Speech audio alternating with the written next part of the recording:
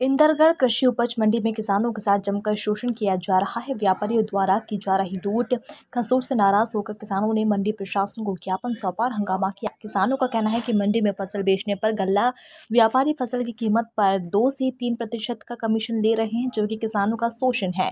इस पूरे मामले में मंडी प्रशासन भी चुप है और मंडी व्यापारियों पर कोई कार्रवाई नहीं कर रही है। किसान लूट, खसोट रोकने को लेकर मंडी समिति में हंगामा खड़ा किया और दोषी गल्ला व्यापारियों पर कार्रवाई कार्रवाई की मांग करते हुए जाम लगा दिया।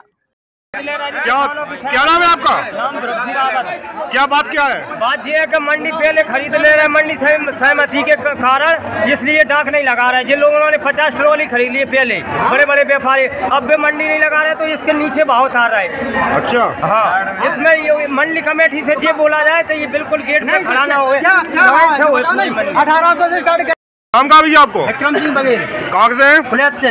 क्या बात है भैया? सर जब मेरी ट्रॉली यहाँ पर खड़ी थी मैं बोली की नहीं लगाई। किसने? मेरी बोली छोड़ के दूसरी बोली टोपा बोली किसने?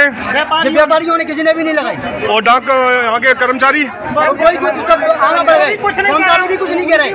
अच्छा। हाँ कर्मचारी भी कुछ नहीं कह रहे। कर्मचारी ने जो नहीं कही जब बोली जब बोली टाइम लगा रहे। कर्मचारी का हमें ट्रॉली छोड़कर दूसरी ट्रॉली पहुँच गए।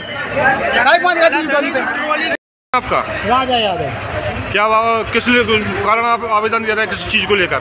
सर यहाँ इंदिरागढ़ मंडी में क्या है, एक कुछ दिनों से एक अवैध कृत्य चालू हो गया कि किसान अपनी उपज का जब भुगतान लेने जाता है तो उसका जितना भी अमाउंट बन रहा उससे दो से तीन परसेंट उसे काट के कम दिया दिया जा रहा।